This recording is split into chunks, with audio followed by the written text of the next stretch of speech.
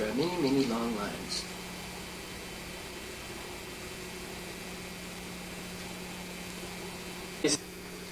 Okay, um, when I do a script, I just pretty much scribble this stuff out and do some small illustrations, just if it's really something I want to remember, and then do it out just in a full pencil rough draft. Sometimes I'll just indicate things really roughly because I know what I'm going to draw. And then this is the actual set of pages right here in progress. I just do two pages at a time just to speed things up, kind of production line it. And uh, do all the lettering first, and then the penciling. And this is a, a non-photo blue pencil, so I don't have to erase. You And- just copy over. Yeah, and because it won't get picked up by the camera. And then I do uh, thick line contours, and then I go in with with uh, a finer pen and do all the detailing, fill in the solids. Right here is Mr. Time-saving Xerox interspersing. Uh, this is a flashback, so instead of drawing the whole thing over again, I just make a Xerox and paste it in there. Could you maybe, why don't we, hmm, you want to do the whole thing again? Because that just sounded Too long? a little too. Go on. This is how the script starts out. It's just a bunch of scribbling and a few little spot pictures. Just if I want to be sure and remember a visual of some kind, and then I, I lay it all out, you know, as a pencil and pencil the whole story, and then this is it in progress right here. And what I do is first I do the lettering and, and lay it all out, and then I go in and pencil it with a non-photo pencil, which means uh, it won't get picked up by the Xerox and I don't have to erase it. And then I use a thicker pen for the contours and then I go in and detail it. And this right here is a Xerox just put in there so I don't have to redraw this particular thing. It's from what the another issue. Yeah, it's a flashback, so it's valid to copy it. It's supposed to, you know, be what it was before, so why draw it over?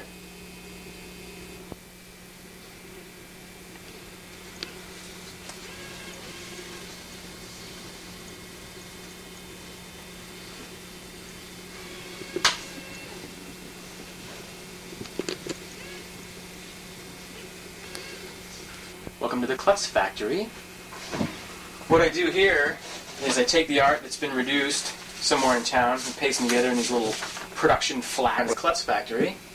What I do is I just have the original art reduced somewhere in town and put them together into these little production flats after figuring out the sequence. And then they go in here, and this machine requires a bit of work to get it to, to produce dark black. So I have to get this thing right here primed by pumping it a hundred times. And this is the toner. Whoop-de-doo. Do that again. Could you put some more in? Wait a second.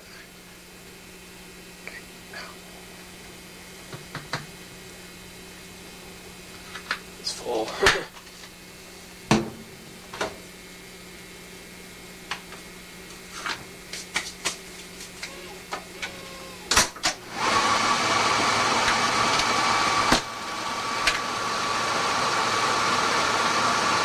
it's got to warm up. What I have to do is run about 10 or so totally black to draw up the toner, sort of saturate the thing.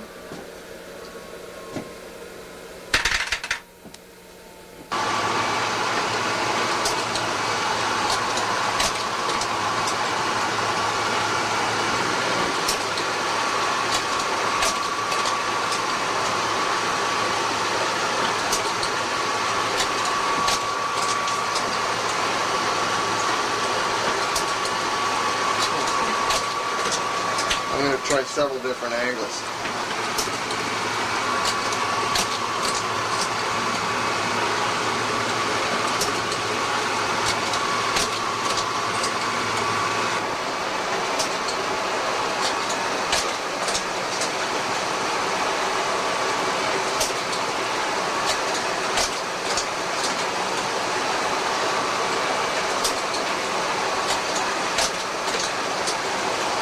Wait to pause a second. Okay. This is going to make 500 copies of, of issue number one with this 25. And there it is! Yay! Okay. You shooting, shooter? Yeah, so pause a second before you say anything because we're all fucking bantering about here. This is the collation process.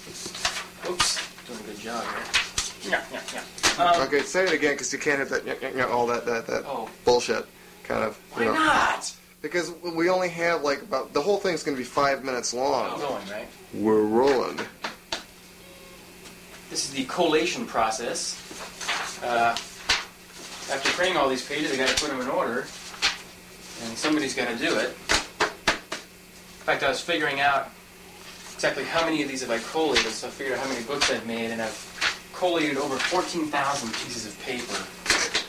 Um, have to do all the stapling at school because you have to have a special long reach stapler, and I've only done about 8,000 staples.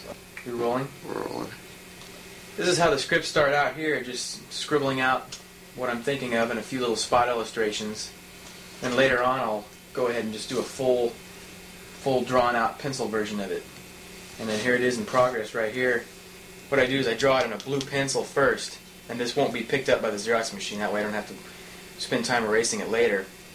And then I draw all the thick contour lines, and then I go in and do all the detailing. Neither.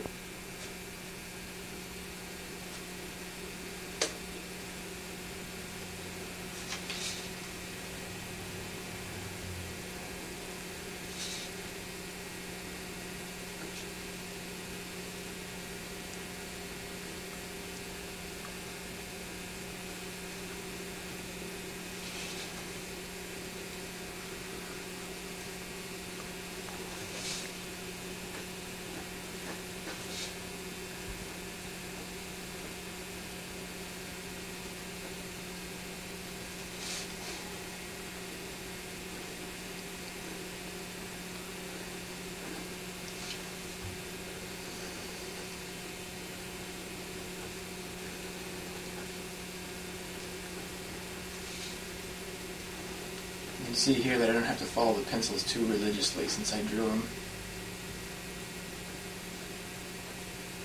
That's why I would never want to have somebody else ink my stuff, or or because it would take me a lot longer to do the pencils if I had to draw it so somebody else could understand it. This way, I just know what I'm going to do.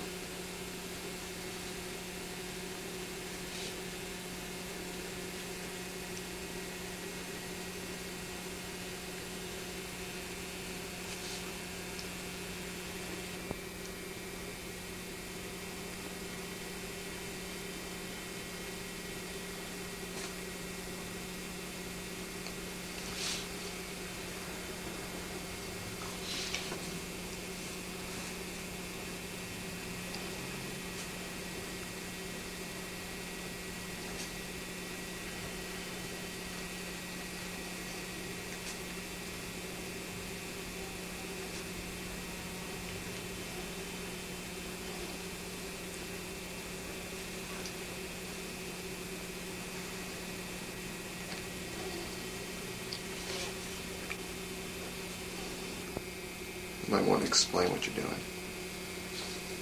This shading film right here pretty much saves having to do a lot of cross hatching and filling in to sort of sink something into the shadows. For a long time I tried to avoid using it, so I forced myself to do the shading manually, but now that I've kind of gotten more disciplined, um, I'll use it now and again. Like right here, this is just going to set all this machinery into the into the shadows inside of this little space camber here.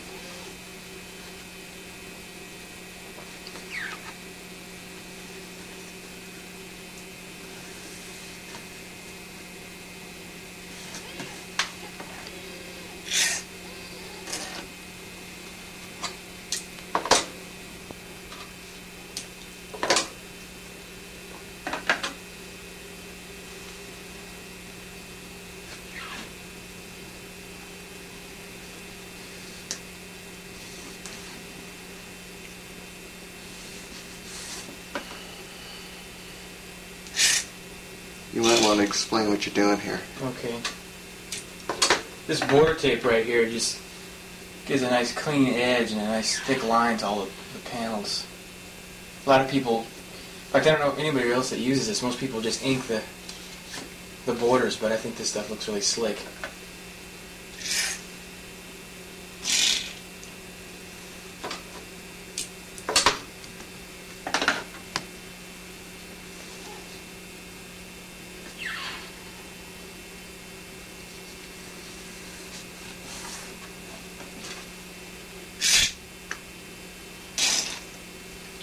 Actually, we'll probably need to get another